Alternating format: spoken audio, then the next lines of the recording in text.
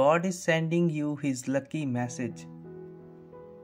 Even when it seems like you are losing, know that the true victory is yours. All things work for those who trust in me.